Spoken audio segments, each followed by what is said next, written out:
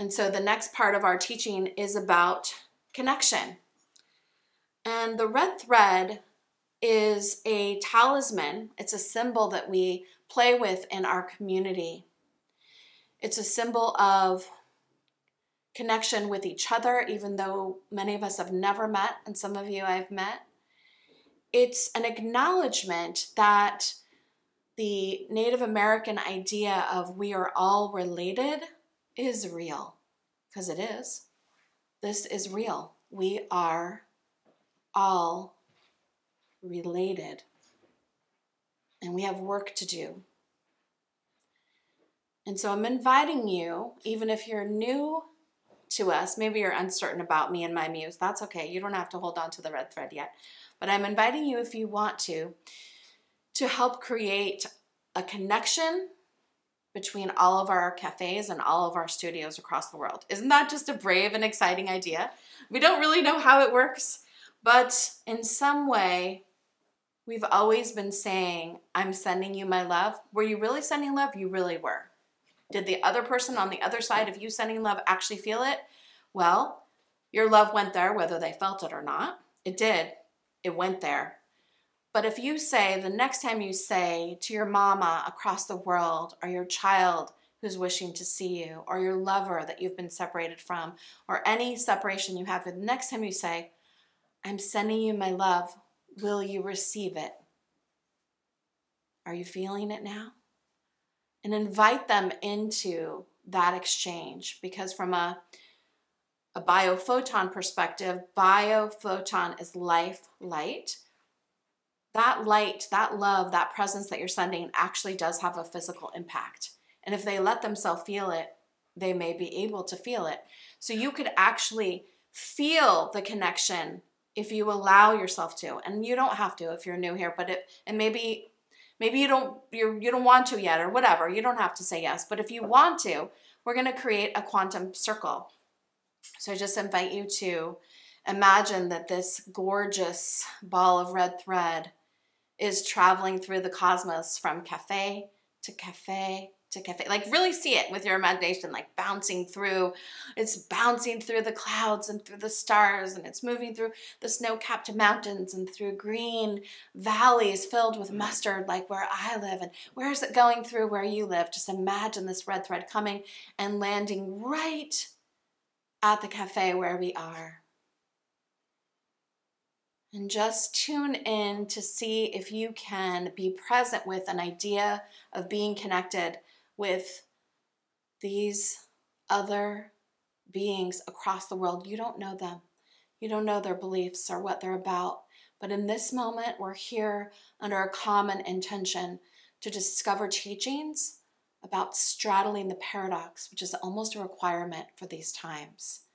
So you know that we have this intention of doing this work together.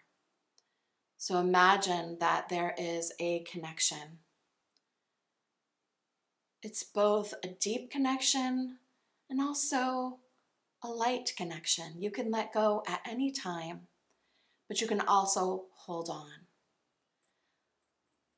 The red thread is the color of blood, all of our blood. And the red is red because of the iron of an exploding star. So you can imagine that your red blood carries the codes of stars that are billions of years old. Can you even believe that? I mean, that's like, whoa! This ancient information is within this vessel. It's carried here, and all of these across the world, they too are filled with stardust and ancient knowing and connection with original lands and cultures inside of each one of us you carry the mitochondrial DNA of your original mothers. It's within you, and it's red. You are connected, and we are connected to the original mothers. The red thread is an umbilical cord of connection, an acknowledgement of connectivity, and an intentional creativity community. And here at Musea, we use the red thread to learn how to be together and we need some help, y'all, to learn how to be together. It's going to take a little time. Sometimes it's a little bit messy. But we need to do this work to mend, to mend from many challenging systems which have been in place over the past 500 years, but over the past 8,000 years, but over the past 12,000 years, to a time before these hierarchical power over structures were created. There is that time, and our bodies remember that time, that connection to each other. And so, in the spirit of love and in the spirit of all of our muses hanging out together in these cafes, I invite you to feel the sense of connectivity. What does that sensation feel like in your body if you tune in? And feel free to just put over in the chat, if you will. Like, how does it feel? I mean, it might feel scary, it might feel exhilarating, it might feel nothing. Like, how does it feel to be connected in this way which feels quantum to me. It's not quantum mechanics, but it feels quantum because we're across the whole world together. I mean, that's awesome, right? I mean, yay for technology for that. Like, we are together and we are related. So, how does that feel? Sparkling and togetherness, a sense of belonging, tingly. I love the tingly. Peaceful and hopeful. We feel expanded, exhilarated, inspirational, comforted, alive, filled with love sweet and healing, high spirit fly, flying on a carpet together. We feel cared for. We feel a sense in our throat, a frisson of whoosh, light and the feminine. I feel like crying. I feel like home. I feel expanded. We are all related and we are all on this earth together. big, beautiful breath as you imagine the feeling of your creative spirit, feeling the joy at you being connected in this moment to other creatives. We'll never be together in this way again. This is a special moment in our lives. Just can you call forth a frisson, a sensation, a shimmer, a sparkle of joy in your body?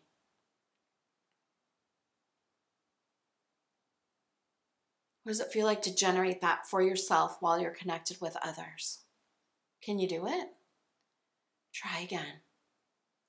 You're in the seat of your muse. You're connected with people across the globe. There's a red thread between all of us, and you're summoning deep joy. How does it feel? Ask yourself, how do I feel? How do I feel as you allow whatever is present, whatever is coming up, to just be there. And if you're noticing any blocks to feeling connected or blocks to joy, be tender toward that part of yourself. Be tender with what arises. Connection is here. Healing is here. This love is here. This hope is here. This desire for connection is here. Your connection with this gorgeous earth is here. A big, beautiful breath moving through you. And I invite you to, if you have a red thread physically with you, to cut a piece off. We do a lot of virtual circles around here, and we don't always ask you to do that. So I'm going to do that. So just give me a moment. I'm going to get my thread, and I'm inviting you to do the same thing And in the red thread, we say we are all connected. And what's so awesome about the ceremony of the red thread is it creates a sense of connection, but then we return to sovereignty, right? So there's a lot of clean, clean energy here. We move out and then we come back. It's an inhale, exhale. And wow, do I wish I was able to tie it on you because it's sometimes hard to tie your own thread. It's like a whole thing. Oh, Jonathan's to come tie it for me. Thank you, honey. As you tie it on yourself, just know that this is that symbol of connection. And on uh, my first date with Jonathan, I tied a red thread. We didn't have a second date for a year and 10 days and we blame the reconnection on the red thread. so that red thread. And if you don't have one, I invite you to just use your finger to magically draw it around your wrist.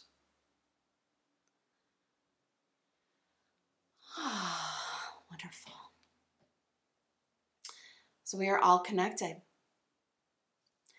And our next drawing that we're going to do is about about connection. This red thread we just did is another straddling of the threshold. And the threshold that we just straddled is I'm here, you're there. But we just connected. That's straddling the threshold. And if we can begin to see how that works in every area of our life, it really changes things because it's the awareness of the straddling which amplifies your consciousness, your heart, and your body. So we're going to go to the next drawing.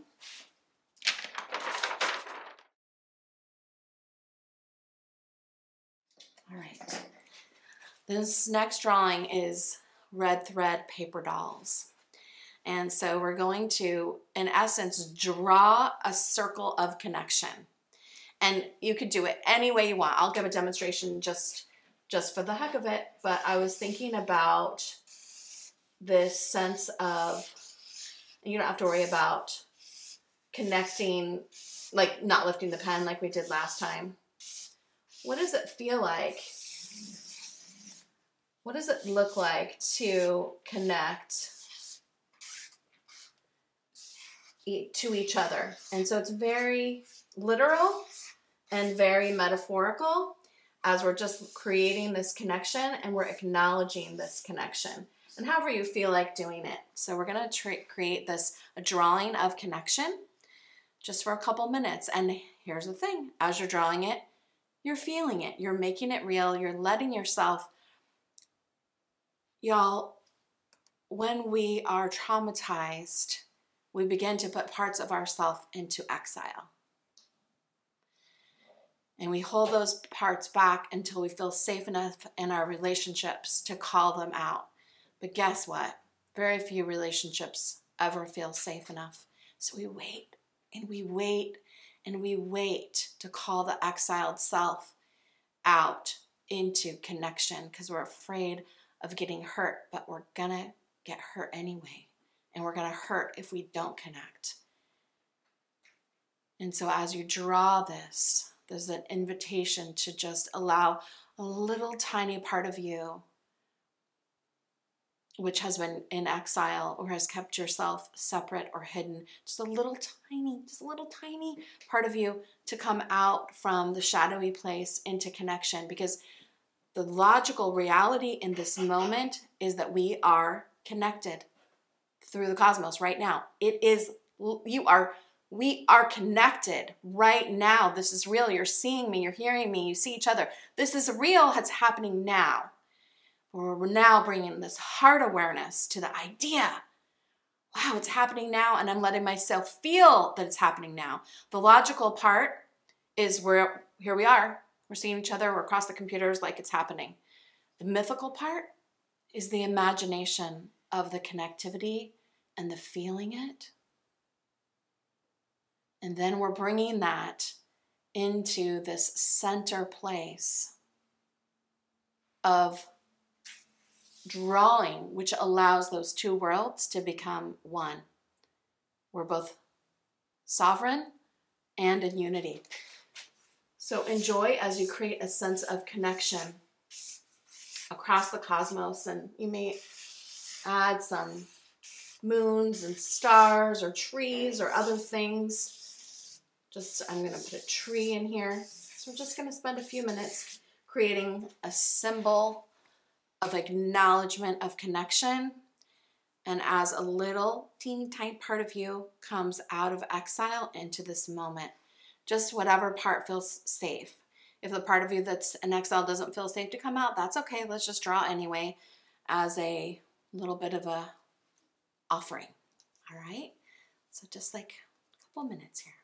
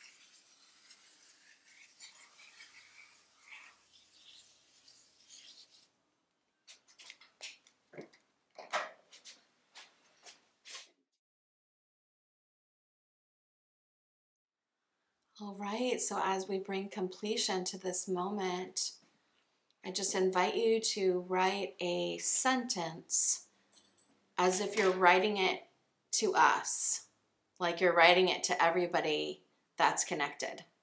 And I, mine is I so love being with you. I just so love being with you. It's so, it's such a beautiful feeling. Thank you.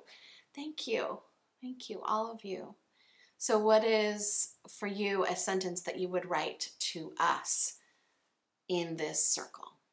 And then, if you feel like it, to take a photo and share it with us. And also, you can put it in in the chat. Some of you are saying, "I are I honor our time together.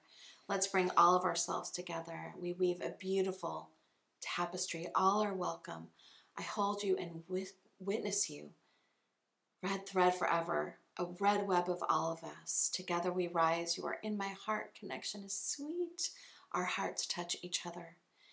Note how you can create this and feel this level of love even if we have never met each other.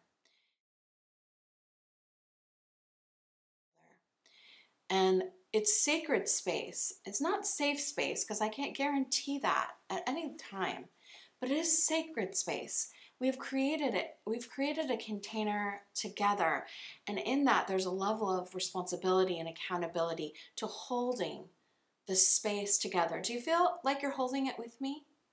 Because it feels like it's it's not just me broadcasting out to you right? It's actually you are are broadcasting to me too. We're all sharing this and building this energy together. And that is a potent reality and it's a potent teaching as well.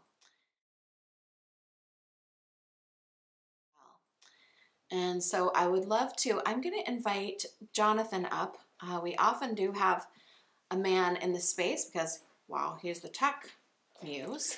Beware, there's a man in the space. Beware. We always have to announce it.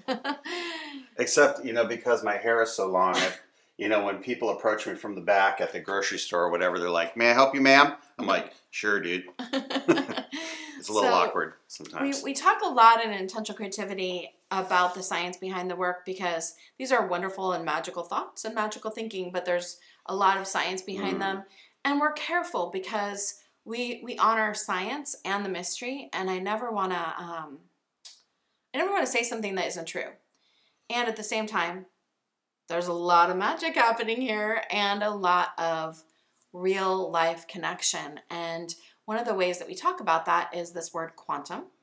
And it's yes. not quantum mechanics, but what is it?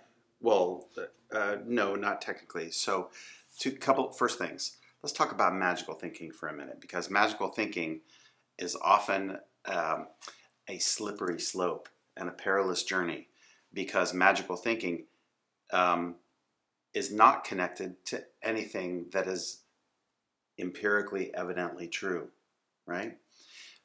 Now, let's look at the other side of that, which is a quote by the famous uh, author, British author Arthur C. Clarke, that said, Any technology that is suitably advanced is indistinguishable from magic.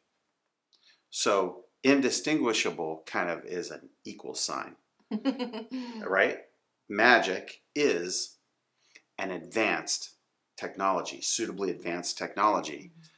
Mm-hmm. And because we can't describe it with our sensor package, it potentially occurs to us as magic.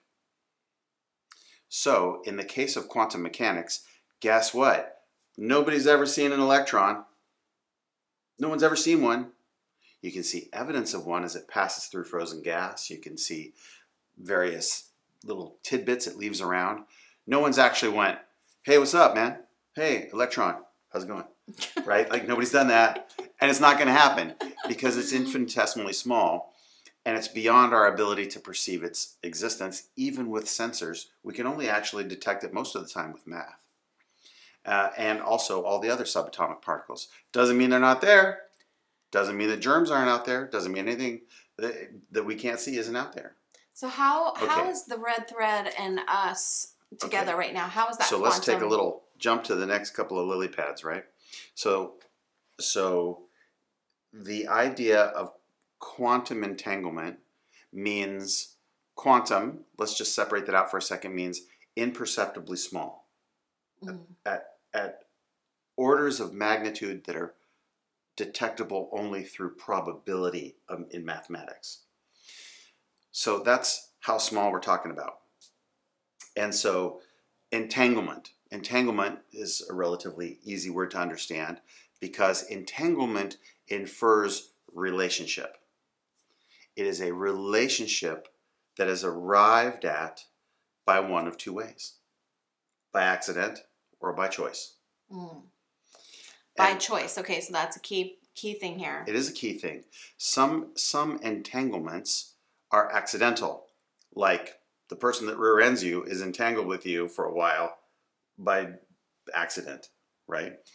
But when you make a choice to entangle your energetic signature with another energetic signature, you're creating a bond that actually transcends space, time, and the functions of space and time, which are electromagnetism and gravity. And so when you say um, that you are using this pathway of red thread to connect to each other across space time, which in this case is one thing, right? Because it infers both both aspects. When you're saying that this is so, the choice that each of you are making and that you are making in turn is that each of you become, if you will, a node upon a web or a network, a fabric that is all stitched together through the cascade of waveform collapse known as choice. So choice, our choice to be connected In- is what is That's right. connecting us. And so energetically, you're sitting out there wherever you happen to be, and we're sitting, we're standing We're in here. a cafe. We're well, I know we're in a cafe, but the idea here is is that the energetic container that has been produced through your choice to be here is what gives you access to the entanglement, Mm. right?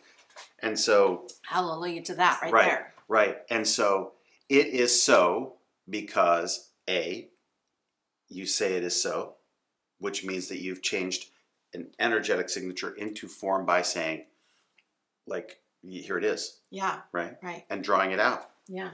right? And so that entanglement is a choice point at which there's some beauty that arrives because it's not just you.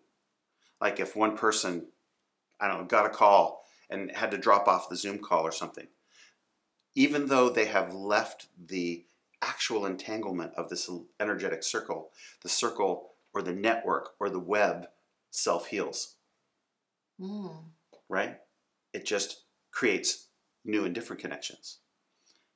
And so this entanglement piece is an energetic signature created by a group of living, thinking, breathing human beings who have really consecrated a choice with one another, hmm Thank you. right? So there's there's really good physics that backs this entanglement piece up.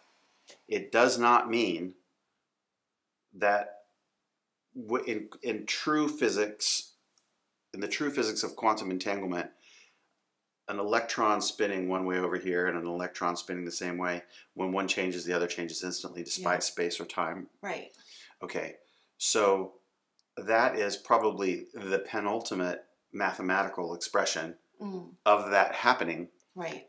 However, we're talking about degrees of relevancy, Yeah. right? So if you adopt and and onboard that for yourself, then it is true for you through your perception and through your actualization of it. And by thinking that and onboarding that, you are actually causing an energetic thought in your mind, which becomes a state of being in your body. And that state of being in your body is happening because your mind is instructing your brain to cause a cascade of chemicals which activate genes gene expression in your body that turn on those glands and cells and parts of your body that create what you feel when you have feelings. So the feelings you have of love and connection and peace and happiness and, and connectedness, those feelings are from gene expression, which is caused by your brain, which is impacted by your mind. I love it. And it just, it all flows together seamlessly. So it Thank is so because you have chosen it. I love that. Thank you. Why is this important? Just ask you, why do you think it's important? Thank you, Jonathan. You're asking me why it's important? No, I'm asking them. why is Why is this important? Just think for a minute. Why does it matter to you that what we're doing, hanging out with the muse, straddling the thresholds, actually has a scientific basis? Just think about it for a minute. How does it change our creative process here to know that almost everything we're doing has this exploration of somatic sensuality and science behind it? Might matter to you for different reasons. I know for those of us who work in the field of trauma, it matters because we need to know exactly how it works in order to duplicate it when someone needs it.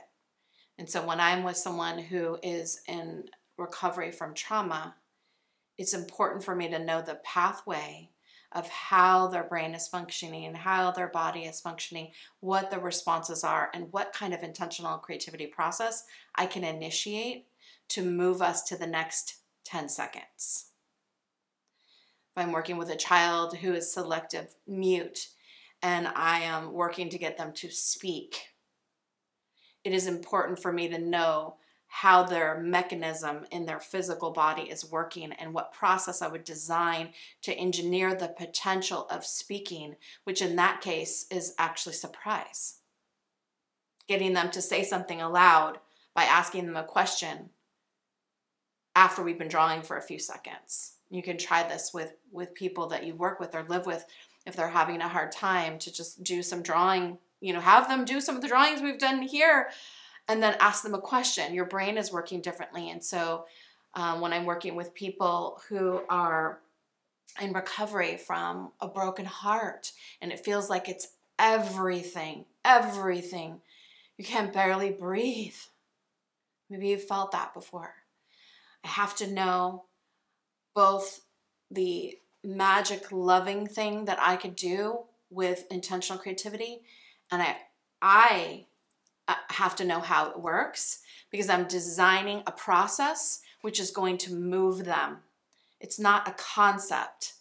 It's a reality and it becomes real because we're not just talking, we're drawing it. You just drew I invited you with words to feel the connection. We held the red thread.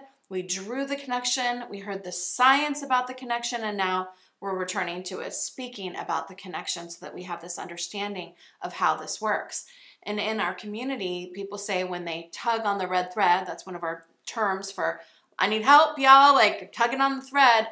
It's it's not just a word. I mean, you actually then have posted and there's a feeling of requesting support and then hundreds of us go, I'm tugging back. I hear you. I'm with you, or whatever it is.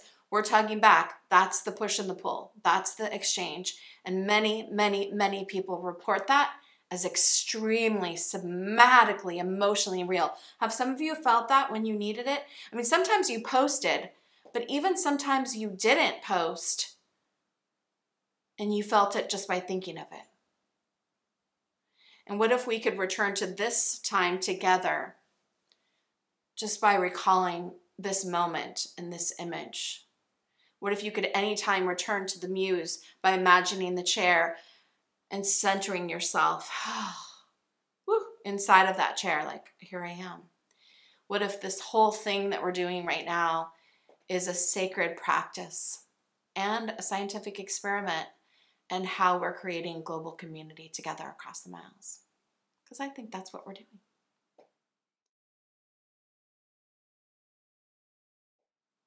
So I'd love for you to hold up your drawings. I'd love to see them. Go ahead and hold them up so I can take a look at these connectivities. Wonderful. This is now another level of quantum, right? Because now we're looking at each other's drawings and seeing it. I love that. Maybe we can take a screenshot of that because that is beautiful. Look how different everybody is, and yet there's that sense of connectivity. Beautiful. Thank you so much. Love it. Love it, love it, love it. okay, ah, now we're going to go to another drawing. Do you need to stand up and stretch? Ah, okay, let's do that.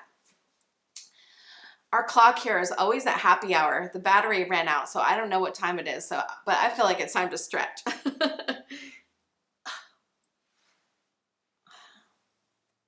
right. Oh, wonderful. Oh, just feeling so yummy being with you all. We we are here at Musea, and if you're new here, uh, we have um, been holding a physical building as a part of our work for over 20 years. And so right now we're in our 6,500 square foot campus, which has housing for community members who live here. And we also have gardens and a vineyard and classroom. We're right now in the film studio, which we call the Great Room. And then we also have Musette, which is our little wine bar and today the rosé is being bottled outside in the rain here at Musea. So there's like all these things going on at once. There's also in another room um, letters being written to people who are in courses with red physical red threads flying out. There are children here. There are there's body work happening. There's all kinds of things happening. So there's magic all through this space that you are a part of as we continue to imagine ourselves at this little cafe that is each where you are, but also where I am.